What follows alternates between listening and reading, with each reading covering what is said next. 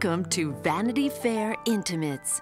Vanity Fair, a name long associated with style, with quality, and with innovation in women's apparel. The company started manufacturing gloves and mittens.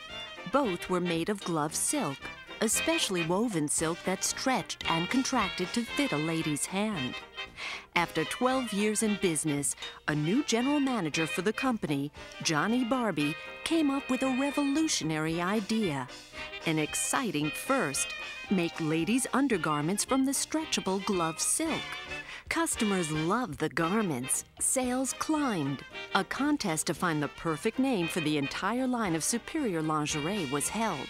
The winning name? Vanity Fair. Gloves were dropped from the product line. Now the company was known as Vanity Fair Silk Mills Incorporated. Needing room to grow, the company moved to Alabama. New headquarters were established in Monroeville. When the U.S. entered World War II, Vanity Fair directed much of its silk into the manufacture of parachutes.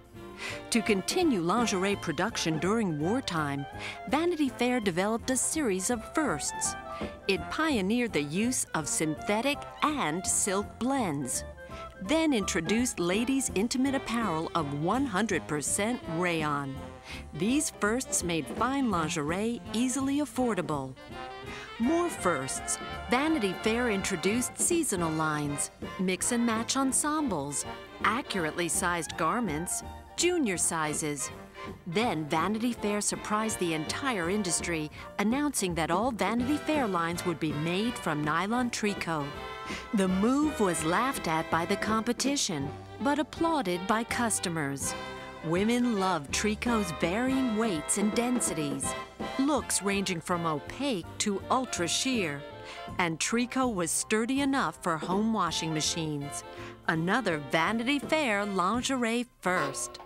The apparel industry saluted Vanity Fair with major awards for innovation, style, and quality. And the innovations kept coming. Firsts such as the legendary leopard print lingerie, the introduction of Lycra, color-coordinated bra girdle lingerie concept, Vanity Fair's famous Chevelva fabric for loungewear, and lingerie fabrics of Antron 3 yarn with anti-cling built in. All Vanity Fair firsts, which the competition eagerly copied. Today, innovation remains daily business in Vanity Fair's product development department. Here, design teams work closely with every area of the organization, creating products targeted to fill specific consumer needs. Tools employing the latest technological advancements are used to ensure timely delivery of new products to market. The design process includes a sample room where concepts are quickly transformed into samples. Samples that are evaluated for suitability through consumer testing. Vanity Fair Intimates is not only the leading manufacturer of lingerie, sleepwear, and loungewear for women, Vanity Fair is part of one of the world's most dynamic companies, VF Corporation a company famous for its impressive list of quality apparel produced in over 120 sites worldwide.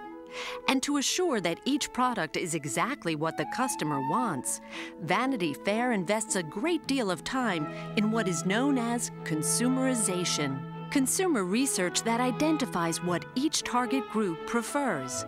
Consumer color preferences are researched along with how they want a garment to fit and feel. Through close attention to consumer groups and their preferences, coming trends are quickly identified, helping Vanity Fair to be the first to meet the consumer's changing needs. Under the Vanity Fair Intimates banner, the world-famous Vanity Fair brand for department stores and upscale specialty shops is produced. Vassarette is the label on lingerie for the leading mass marketers plus private brands for an impressive list of famous labels, each catering to a special segment of the marketplace. Vanity Fair is the only vertically integrated intimate apparel company in the world, which means Vanity Fair produces everything from fabric to finished product. The entire operation is overseen from administrative offices in Monroeville, Alabama, Atlanta, Georgia, and McAllen, Texas. Assisting administration are sales offices in New York and San Francisco. Vanity Fair's highly capable sales force not only makes certain customers are well informed about product lines, they also keep Vanity Fair's designers and production operations well informed on developing customer interests and buying trends. In the operations area, business planning develops product forecasts and manages VFI's highly sophisticated vendor managed inventory replenishment system. The Customer Service Department serves as the communications link between VFI and customers, keeping them informed on their order status. Production planning and purchasing departments coordinate forecasted demand with manufacturing capabilities to ensure that the right products are available when customers request them. The manufacturing process starts in Vanity Fair's knitting plant, where over 100 skilled technicians produce quality fabrics using 150 knitting machines. Over 80% of all fabrics used in the products of Vanity Fair Intimates are made here, in Jackson, Alabama. All fabric is knitted from natural and synthetic yarn, making what is known as gray goods. Vanity Fair's products are known for quality. To ensure these high standards, one in five Vanity Fair employees in the knitting facility is involved in quality control, the highest rate in the industry. From knitting, fabric is transported to dye finish in Monroeville. While approximately 60% of the finished garments are white, black, or beige, the rest are in a wide variety of stylish colors. Using the latest in computer technology, dyes are mixed to exactly duplicate the colors Vanity Fair designers specify. Then state-of-the-art machines dye and set the color for each fabric. Over 300 members of the Vanity Fair Intimates team are required to operate this complex facility. The next stop for fabric is either of two cutting facilities one located in Monroeville, Alabama, the other in McAllen, Texas. In both, pattern pieces are arranged by skilled computer operators. Then, this unique computer software tightens pattern placement, a highly important process. A 1% savings in fabric can equal an annual savings of over half a million dollars.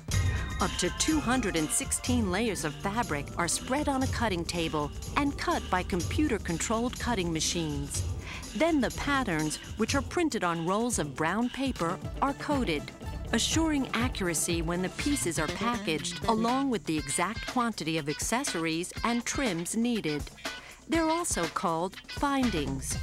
These are necessary to complete the products, findings such as pre-assembled straps, tiny bows precisely made by this machine, and buttons, buttons covered in matching fabric, a Vanity Fair Intimates exclusive.